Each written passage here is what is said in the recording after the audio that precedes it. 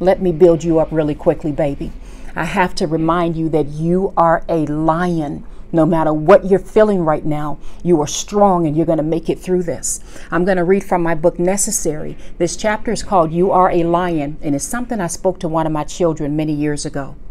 Who is this that I see? I don't recognize you anymore.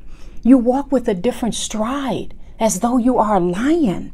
You walk as if you know you are fiercely and wonderfully made, as if you know you can do anything. Ah, now I see where your confidence arises. Now I see why you achieve what seems impossible to others. I see the King of Kings in your shadows. I see the lion standing next to you. I see the lion in you.